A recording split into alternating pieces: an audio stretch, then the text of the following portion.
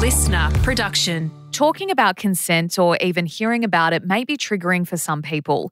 This includes those who have experienced or are experiencing sexual violence or other forms of trauma. Support is available at 1 800 RESPECT, National Domestic, Family and Sexual Violence Counselling Service, and information is also available at consent.gov.au. Hi, Sacha Barbour Gatt with you for episode one of this four part series of The Briefing, brought to you in conjunction with the federal government's campaign Consent Can't Wait. Consent is much more than simply agreeing to being intimate with someone else. When consent is well understood, healthy sexual relationships will become the norm, and sexual harm can be prevented. 53% of women and 25% of men have experienced sexual harassment in their lifetime. A separate study found 64% of non binary people, 55% of trans men, and 42% of trans women had experienced sexual assault. A national survey of Australian young people in 2021 found that 28% of young people agreed that when a man is very sexually aroused, he may not even realise that the woman doesn't want to have sex. And the government found almost half of people living in Australia were not confident in defining consent or were conflicted in their understanding of the topic. So it's clear we need to build a shared community understanding of consent and have important conversations with the younger generation. It is time for change. Carrie Bickmore is a Gold Logie winning television host and co host of the Hit Network's Carrie and Tommy Drive show. She's also a mother to three children. She joins us with Consent Can't Wait ambassador and youth advocate Daniel Principe, who has been to 275 schools educating young people about these very topics. Carrie and Daniel, thanks so much for joining us on the briefing today. No worries. Good to be here. Thanks for having me. Let's talk through a handful of common myths because addressing some of the misconceptions, I think, will help us get a better understanding of what consent actually is. So, here's one to start us off. If someone doesn't want sex, they'll just say no. I mean, I think we've all been in situations where we know that is just not the case. There's so many reasons why you don't speak up. There's fear of rejection, there's fear that you'll never get the opportunity again. There's all the emotions happening and not just as a teenager i think as an adult. I think often we wish we had a voice um, and that we'd spoken up when we didn't. And i think the conversation around consent needs to happen and needs to happen now. And i think that is the reason why podcasts like this are so important and conversations are so important. And i think very much as a mum with my children I never had these conversations with my parents as a kid. And I grew up in a great household with amazing, loving parents. They just weren't conversations that were had. And I think I've had to really step out of my comfort zone to make sure I have these conversations with my kids and to understand and learn and read and get it wrong and all of that. So I'm very, very conscious of how we have this conversation. And from the outset, I just want to make it known that I'm certainly no expert. And by the sounds of the number of children Daniel's spoken to. I've only spoken to the three I have had, so I'm sure you've spoken to many more, Daniel. Any help I can get from Daniel, I'd appreciate as well. Yeah, so well said, Carrie. I think there's so many reasons why somebody may agree, whether they speak up or not, to go along with a particular act. There can be, you know, power imbalances. There could be threats. There could be fears, as you've touched on. And it's probably one of the most common things that I've seen in schools. And it's heartbreaking and I'm speaking within that dominant heterosexual context where I've just tragically listened to the stories of so many young women who have felt they had to go along, where there seemed to be this social conditioning and social norms of having to go along with certain things, or they might be seen as frigid and, of course, uh, shamed no matter what they do. Uh, and that's that I can't imagine as a man what it's like to be put in that bind, in that predicament. And that's not to say that men haven't felt like they've been vulnerable to certain pressures as well. But I can't certainly imagine the, the stories that I've heard from young women. And I think there's these ideas that a lot of young people have that everybody's doing it, we need to, and, and that this is something they just have to do. And it's kind of this social script mm. that they're mm. playing along with. Whereas I'm really interested in having conversations about what do we want? And can we go on that journey of finding out? Because even if you don't yet know what you want, that doesn't mean that you should be a victim of something that you don't desire uh, or that you don't fully understand as yet either. But I'm really interested in uh, helping young people, especially, work out what feels good for them, what a respectful relationship is, how they can actually have boundaries, say no, and not feel bad about that, where they feel, especially young women, feel bad in saying no that they owe some sort of explanation or apology for doing so. I also think while I wish I had had a louder voice over my lifetime as a woman, and I think we should encourage girls to find their power and find their voice and how to do that, because I don't always know how to do it. I think it's up to guys, not just expect women to say yes or no, but to be aware of the situation, to be aware of people's behavior. And, and I think consent isn't just about words, it's about watching somebody's body language and uh, how they're responding to what's happening. And I know it's nuanced, and I know, especially as a teenager, you're learning it as you go. And that's why I think we just need to constantly learn as we grow and have conversations and have conversations with other parents. What are you finding is happening with your kids? Be being confident to have conversations with our kids, but for kids to have conversations with their friends as well, and for to remove this taboo, to remove the embarrassment, to remove the feeling of shame, so that the more we talk about it, the more comfortable we can all be in our intimate relationships. Yeah, absolutely. And I think what you touched on is so important. And the other side of the coin that I didn't mention was looking at what I say to boys is quite often very different because it so much is about that them desiring what their partner wants or what their partner likes or what their partner feels is pleasurable or safe and encouraging them to have the EQ and the communication skills to be in tune with that, to want that, to be like, well, mm. of course I want my partner to enjoy this too.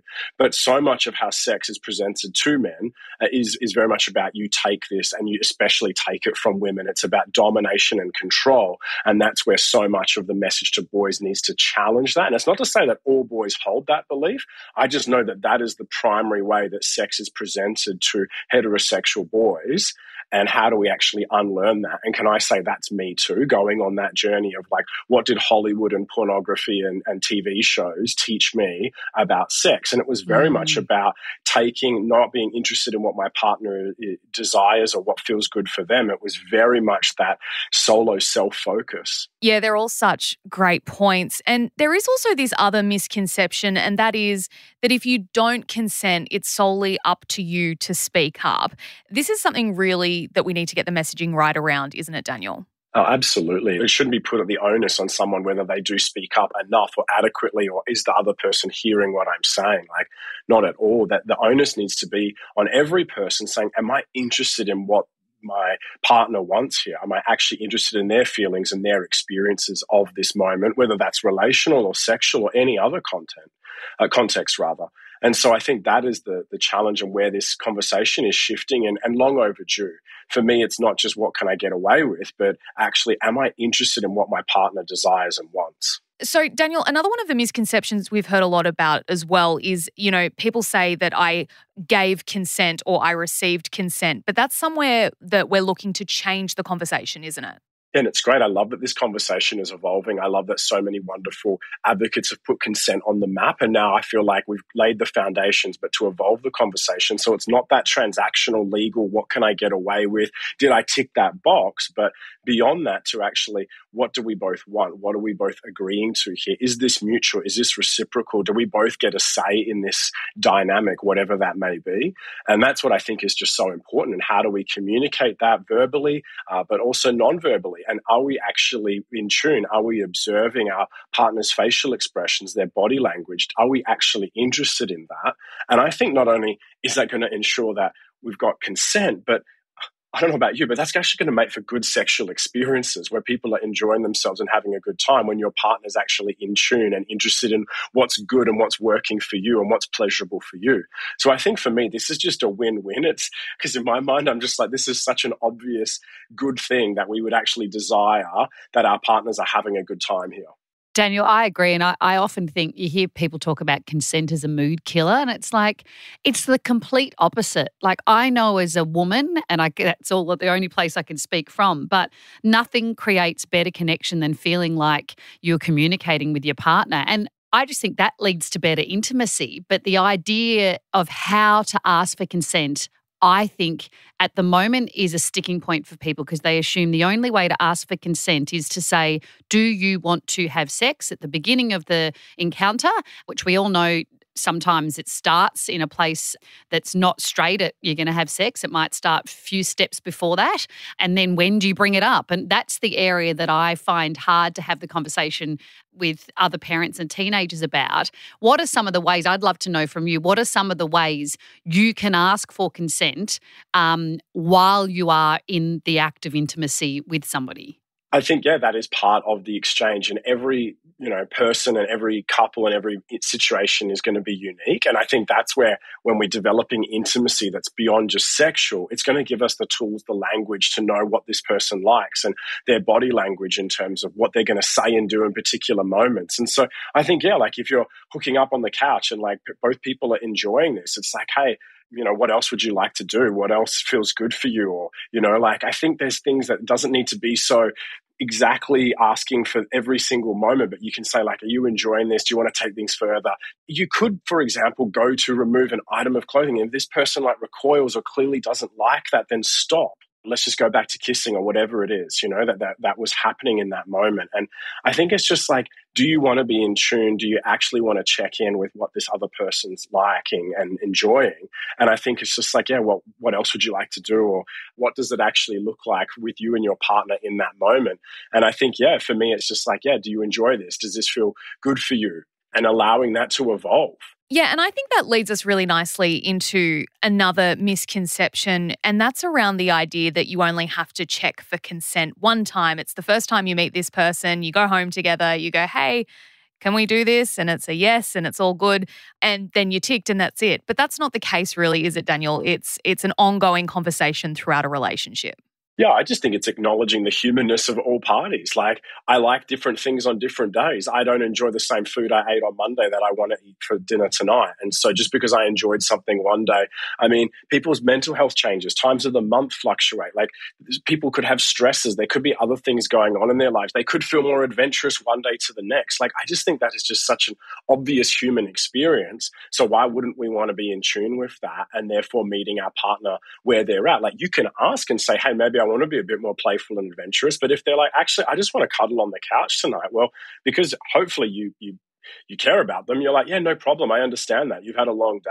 So I just think this idea that we've done something and we've gone to, you know, this level before or we've done this, I, I, just think, yeah, that's great. But like every person is having a very different experience, even when it comes to a sexual experience. And you might not be up for the same things every single time you know and and i think that's really good to be mindful of and to kind of have that empathy that goes both ways that yeah maybe some days like you're actually tired you're exhausted and you, you don't particularly want to do something or, or maybe you you know you just want to give each other a massage like let's actually just be people who are interested in what our partners like and meeting them where they're at. You can ask the question, but like it, this for me is about empathy and mutuality and respect. I just think, yeah, that's the, the humanness of it all. I just think sex, particularly for a woman, is an incredibly emotional experience. And I think what Daniel just said then is so true that your emotions can change even in the moment of having it. And what you wanted at the beginning is not what you feel like in the middle, or, you know, your mind starts to start thinking about other things, or you even feel disconnected from your the person that you're in that intimate moment for a second. So how you feel about the intimacy that's happening changes. I just think communication is the key. And I think to the guys out there, you will have so much better sexual experiences if you communicate. And I think it's so hard because there's so many things happening as a teenager embarrassment. I think so much of it is about not knowing and not understanding. I mean, you just have to look back at the fact that we were obsessed with Dolly Doctor as a kid because it was the only place we could get information because we didn't know. And even as a parent, I have to read up about it because I don't know half this stuff. And I think if we just talked about it more, and I remember getting this piece of advice once about parenting when talking about sex and consent, but I think it applies across the board that you don't have to nail it the first time and that this feeling like like you're only going to get one chance to have a conversation with your kids about consent is just not there. Um, I think being inquisitive with your kids and being inquisitive with your partner about what they like and what they've heard and how they understand things and from not coming from a place of judgment. Yeah, that's such a good message to finish on, Carrie. Thank you. And thank you, Daniel, as well, for sharing your expertise. Such a great uh, conversation that we've managed to have today. Thank you both. So well said, Carrie. And thank you so much, Sacha. Thanks, Daniel. Thanks for your advice. You can come and talk to my family anytime. That was Carrie Bickmore, a Gold Logie winning television host, co host of the Hit Network's Carrie and Tommy Drive show, and mum to three with ambassador and consent educator Daniel Principe.